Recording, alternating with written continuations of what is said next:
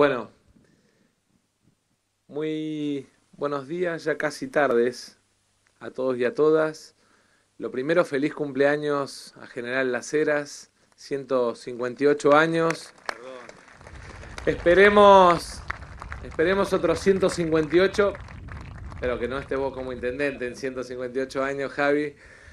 Agradecerle además a la familia Pico que nos abrió la puerta de, esta casa, eh, productores agropecuarios que de alguna manera lo que muestran es la voluntad, la decisión, la vocación de trabajar juntos. Creo que es muy, muy importante que tengamos la capacidad de trabajar juntos el sector privado y el Estado para tratar entre todos de sacar a la Argentina de esta situación.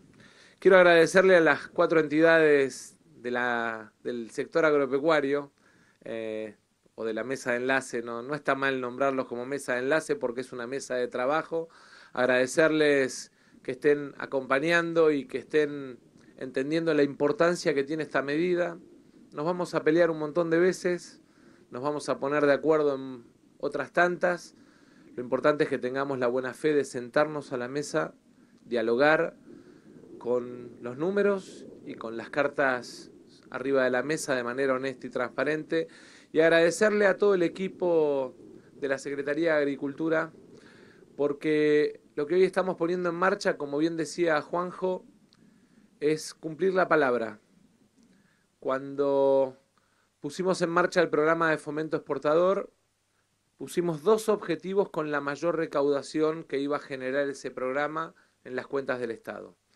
Un objetivo enfocado en construir el abrazo entre los sectores productivos y los sectores más vulnerables.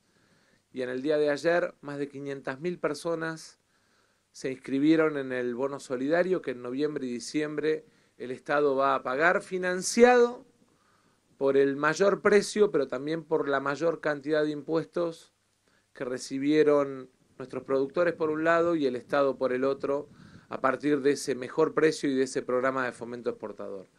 El segundo, este que empieza hoy, enfocado en los pequeños y medianos productores, aquellos que no llegaron hasta el programa de fomento exportador porque tienen unidades chicas y de alguna manera habían vendido su producto apenas habían terminado la cosecha y obviamente no tuvieron la oportunidad de poder acceder a mejores precios. ¿Qué estamos haciendo? Estamos cambiando una lógica, no estamos yendo al modelo de crédito porque sabemos que esas unidades pequeñas de alguna manera tienen dificultades, tienen problemas de poder relacionarse y cumplir con los bancos. Estamos yendo a un modelo en el que subsidiamos el 40% de los gastos del productor en fertilizantes y en semilla para que pueda seguir ampliando su capacidad productiva y para que de alguna manera el Estado pueda devolverles parte del esfuerzo que el conjunto del sector agropecuario hizo a la hora de poner en marcha el programa de fomento exportador. ¿Qué significa esto?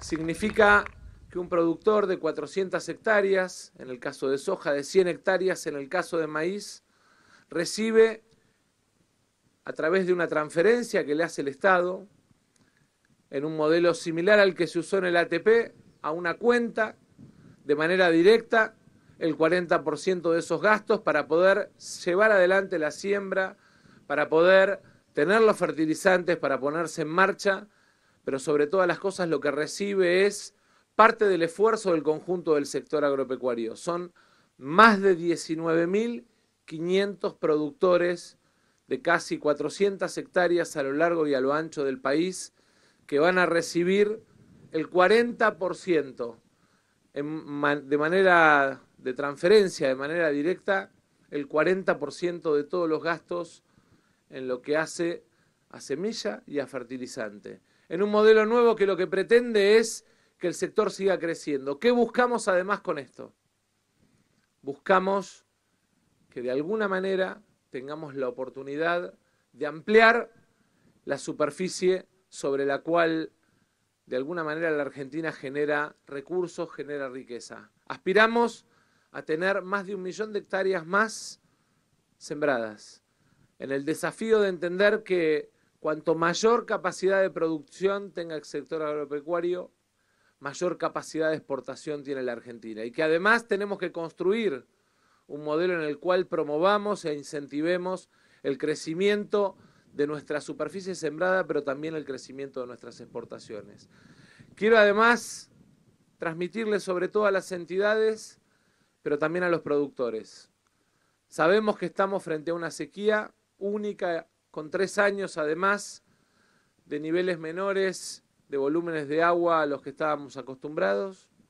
Sabemos que eso nos está poniendo riesgos, dificultades para adelante, no solamente en trigo, sino también en maíz, que nos está haciendo enfrentar dificultades en carne, y por eso he instruido al secretario de Agricultura que desde mañana armemos una mesa con las entidades, con el INTA, con los sectores de comercialización, para ver cuáles son las mejores medidas a los efectos de que tengamos la capacidad de responder a la emergencia que representa en muchos sectores de nuestro país la sequía, pero también a la dificultad que representa en capacidad de alimento de animales, obviamente la dificultad que enfrentamos con la sequía.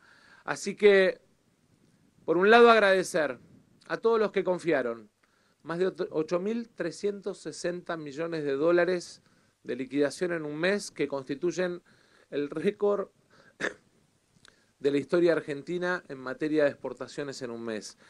Pero por otro lado, también pedirles que sigamos trabajando juntos. No es un desafío que enfrenta un gobierno o un desafío que enfrenta un sector. La agenda de seguridad alimentaria es un desafío global.